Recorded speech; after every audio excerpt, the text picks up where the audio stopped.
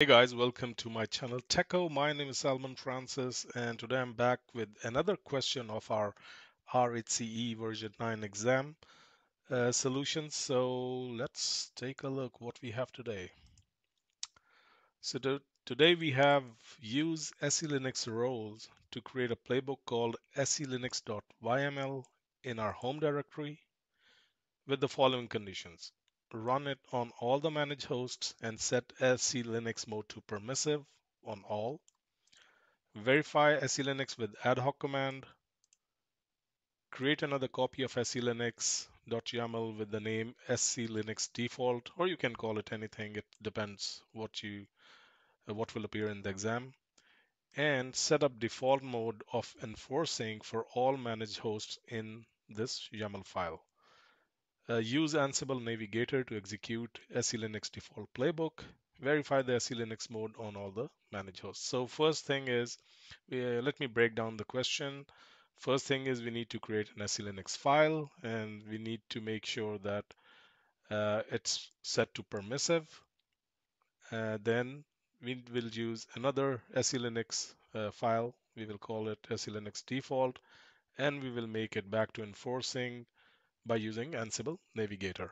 So without further ado, let's start. First thing is we need to check with the ad hoc command that what is our current SE Linux uh, state. So it's going to be Ansible and we are going to use all because we are uh, have to check it on all nodes and the command I'm going to use is uh, getenforce.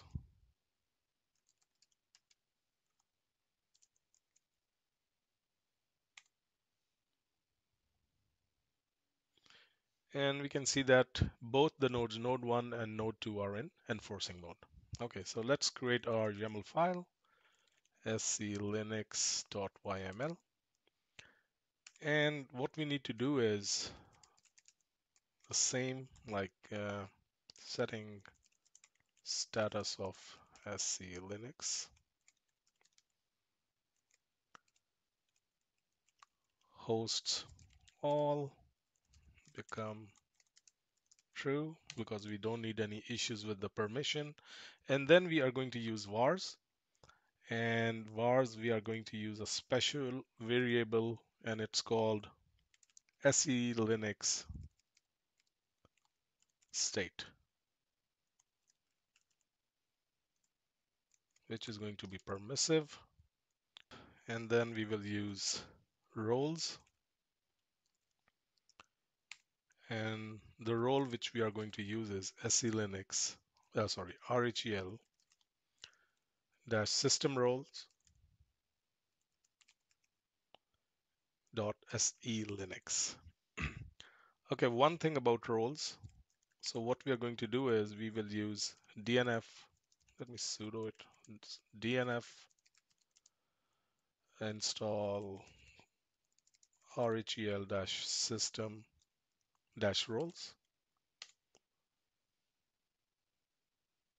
So I already have it in my system. So if you don't have, it will be installed. And one thing which you need to uh, check is that the roles by default are installed in user share Ansible roles. So this is very important uh, you can see that it has installed, here it is, RHEL system-roles.se Linux. And if you have not given the roles directory in your Ansible configuration file,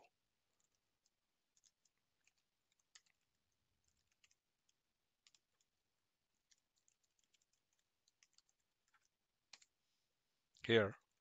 So you might need to copy these roles from here to the roles in your user home directory, Ansible, and roles directory. So you need to copy these system roles. Okay, otherwise you might face an error in case you have installed the roles with Ansible Galaxy, So they are installed in user share. Uh, let me check the path. This is very important, guys. So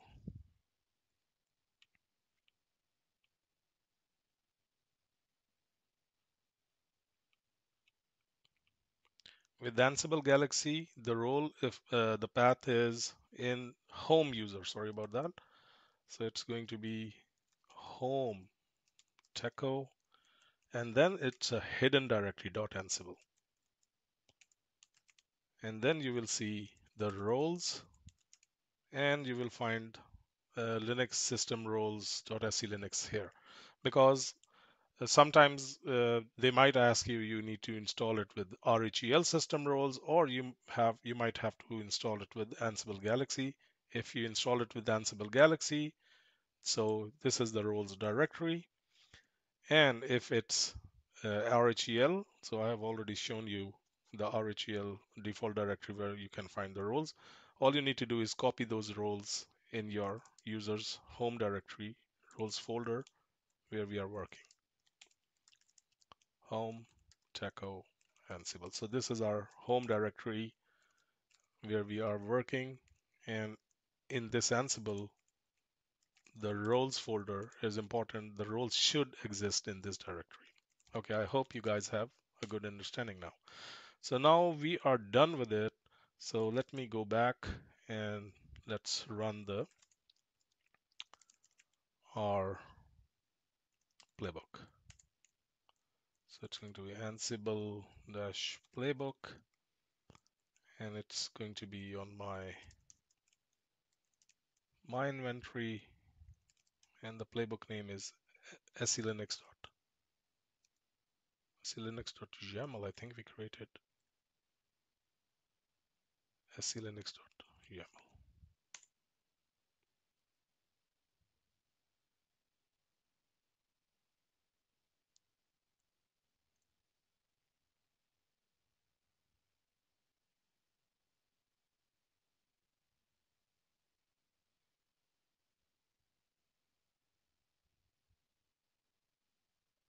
Okay, so it has changed two nodes. Let's confirm the changes with our ad hoc command. So it's Ansible. And we want to check it on all the nodes and the command is get enforce.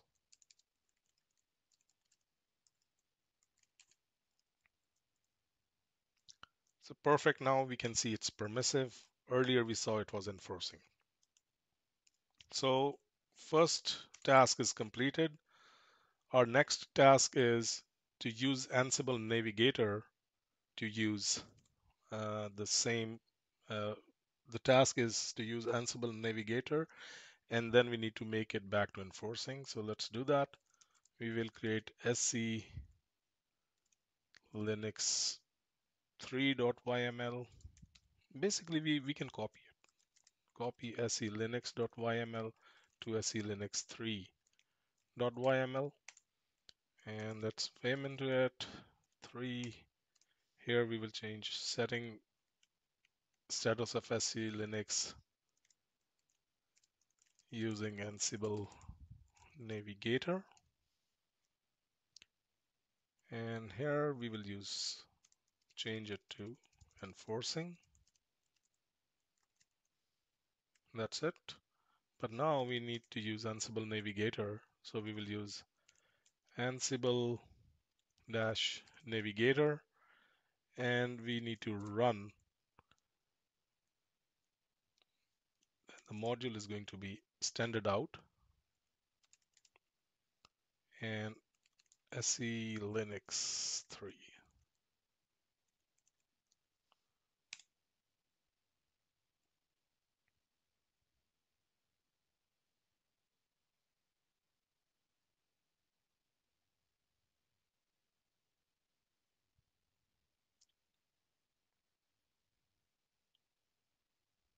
So it has made the changes also and good. So we have our nodes have changed. Let's confirm it with Ansible ad hoc command and it's going to be all dash A get enforce. Great. So we have successfully achieved our task. Now you can see it's in enforcing. I hope you guys have a good understanding. So if you have any problem installing Ansible Navigator, please let me know because I encountered a couple of issues. So you can, because I'm using uh, registered or subscribed Red Hat Linux 9, so still like uh, it was some issue for me. But if you face any issue installing it with pip or directly from Red Hat, let me uh, know in the comments so I will help you because I faced a couple of issues and finally solved it. So guys, thank you for watching. Please do subscribe to my channel, like my video, share it with your friends and family, and hope to see you in our next video where we will see and solve more questions. Thank you.